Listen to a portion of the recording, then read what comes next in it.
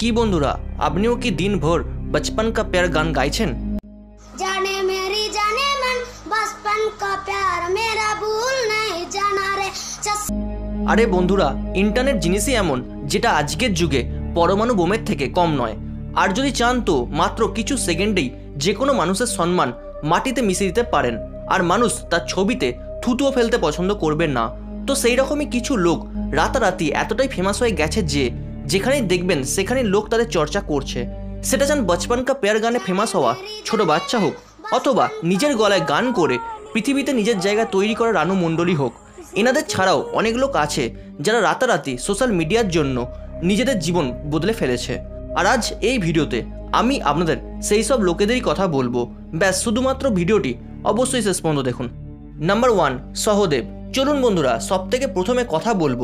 আজকের সময় সবার মুখে লেগে থাকা বচপন কা পেয়ার গান করা সহদেবের সম্বন্ধে जाने मेरी जाने मन बचपन का प्यार मेरा भूल नहीं जाना আমরা সবাই জানি যে এই বাচ্চার দ্বারা গাওয়া গান আজ সবারই ফেভারিট ছোট হোক অথবা বড় প্রতিটি মানুষই এই গানকে গুনগুন করছে ছত্তিশগড়ের নকশাল প্রভাবিত এলাকা সুকুমার জেলার বসবাসকারী সহদেবের ভাগ্য এইভাবে পরিবর্তন হয়ে যাবে সেটি সম্পর্কে কারুর জানাই ছিল না ভাইরাল হওয়া এই ভিডিওতে আপনি দেখতে পাবেন যে কীভাবে সহদেব নামের এই বাচ্চা বচপন কা প্যার গান করছে? আর তার গানের গলা এতটাই সুন্দর যে সবাই এই গানের অরিজিনাল শব্দকে ভুলে এই শব্দকে পছন্দ করছে। কিন্তু আপনি এই কথা জেনে অবাক হয়ে যাবেন যে সহদেবের পিতা একজন কৃষক আর তার ঘরে না টিভি আছে আর না মোবাইল আছে। সে অন্যজনের মোবাইলে গান শুনে এই গান গেয়েছে।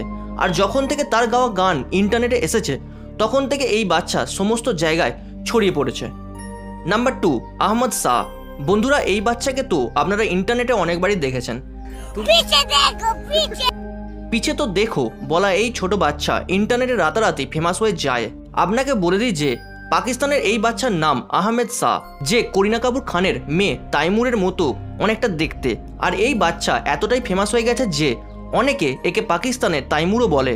আর তার এই কিউটিনেসের জন্য পাকিস্তানের একটি দুধ বিক্রি করা কোম্পানি তাকে ব্র্যান্ড অ্যাম্বাসেডারও করেছে। এছাড়াও এই বাচ্চা অনেক বিজ্ঞাপনেও কাজ করেছে আর সে এখন একজন স্টারের মতোই জীবন কাটাচ্ছে। Number three Zomato boy Sonu. বন্ধুরা কিছু মাস আগে একটি ভিডিও সোশ্যাল মিডিয়াতে খুব দ্রুত গতিতে ভাইরাল হয়েছিল যেখানে জোম্যাটোর একজন ডেলিভারি বয় নিজের হাসিতে সবার মন জয় করে নেয়। সাড়ে তিনশো। ডেলি কা? আসলে যখন সোনু জিনিস ডেলিভারি করছিল, তখন তার সঙ্গে একজন কাস্টমার কথা বলে আর তাদের কথা বলা ভিডিও তৈরি করে নেয়। এই ভিডিওকে যখন কাস্টমার সোশ্যাল মিডিয়াতে আপলোড করে, তখন এই ভিডিও দিনে দুগুণ এবং রাতে ছয় গুণ গতিতে ছড়িয়ে পড়তে থাকে। অনেকেই এই জোম্যাটো বয়ের স্মাইল কপি করতে থাকে। আর এই ভিডিও এতটাই ভাইরাল হয়ে যায় যে জোম্যাটো নিজের টুইটার হ্যান্ডেলের ডিসপ্লে পিকচারে সোনুর হাসির ছবি লাগিয়ে দেয়। একটি সুন্দর হাসি না শুধু সোনুকে ফেমাস করে দেয় বরং তার জীবন পুরোপুরিভাবে বদলে দেয়। কোথায় সে একদিন ফুড ডেলিভারি করত আর আজ সে স্টারের থেকে কোনো অংশেই কম নয়। ইনসেন্টিভ লাগে নাম্বার ফোর বিপিন সাউ। আর এখন এই ভিডিও অবশ্যই আপনার মনে পড়বে যেখানে একজন ব্যক্তি প্যারাগ্লাইডিং করার সময় এতটাই বেশি ভয় পেয়ে যায় যে নিজের গাইডকে বলে ভাই একশো দুশো টাকা বেশি নিয়ে নে। কিন্তু দ্রুত ল্যান্ডিং করিয়ে দেয়। तो दो सौ ज़्यादा ले ले लेकिन लैंड कराते आह, भाई पाँच सौ ज़्यादा ले ले लेकिन मुझे लैंड करा এই ব্যক্তি অন্য কেউ না বরং বিপিন সাউ ছিল প্যারাগ্লাইডিংয়ের সময় এই ভিডিও সোশ্যাল মিডিয়াতে দ্রুত ভাইরাল হয়ে যায় আর প্যারাগ্লাইডিং করার সময় তার যে রিয়াকশন ছিল সেটি মানুষকে হাসিতে ভরিয়ে দেয় কারণ সে যতটা বেশি ভয় পেয়েছিল ততটাই বেশি কমেডি করেছিল আর তার ভয় থেকে যে কমেডি হয়েছিল সেটা অনেকটাই সাধারণ ছিল আর তার সেই ন্যাচারাল কমেডি তাকে ফেমাস করে দিয়েছিল Vale.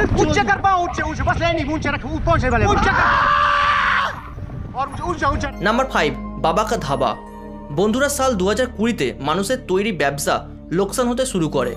কিন্তু যখন ফুড ব্লগার গৌরব ওয়াসান বাবাকা ধাবা চালানোর বাবা এবং তার স্ত্রীর ভিডিও তৈরি করে ইউটিউবে আপলোড করে তো লক্ষ লক্ষ লোক বাবার সাহায্যের জন্য হাত বাড়ায়। না শুধু লোক তার ধাবাতে এসে খেতে শুরু করে, বরং অনেক লোক তার আর্থিক সাহায্যের জন্য পয়সা দিয়ে সাহায্য করে। যদিও পরে ওই পয়সার জন্য বাবাকা ধাবা চালানোর বাবা এবং ইউটিউবার গৌরব ওয়াসানের মধ্যে অনেক বিতর্ক হয়েছিল। কিন্তু যদিও পরে এই জিনিস সমাধানও হয়ে গিয়েছিল।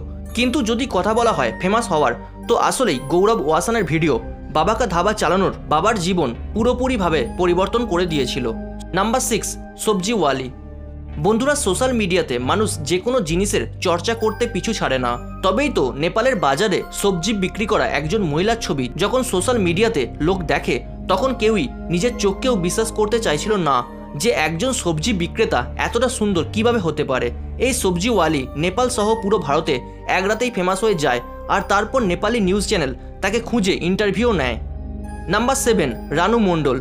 যদি সোশ্যাল মিডিয়া কাউকে সব থেকে বেশি সফলতা দিয়েছে, তো সে হলো রানু মণ্ডল। পশ্চিমবঙ্গের রেলওয়ে স্টেশনে নিজের দিন চালানোর জন্য রানু মণ্ডলের যখন একটি গান ইন্টারনেটে আসে, তো সেটি রাতারাতি ইন্টারনেটে ট্রেন্ডে চলে আসে।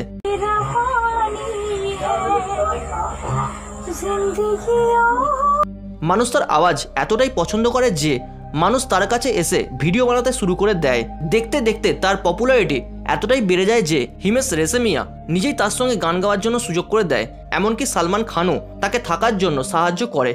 কিন্তু এতটাই দ্রুত আসা জীবনের পরিবর্তন রানু মণ্ডল হয়তো হজমই করতে পারেনি। যার জন্য সে যখন ফেমাস হয়, তখন তার খারাপ ব্যবহারের জন্য তার অনেক বদনামও হয়। আর এক রাতে তৈরি হওয়া তার নাম এক পলকেই ভেঙে চুরমার হয়ে যায়।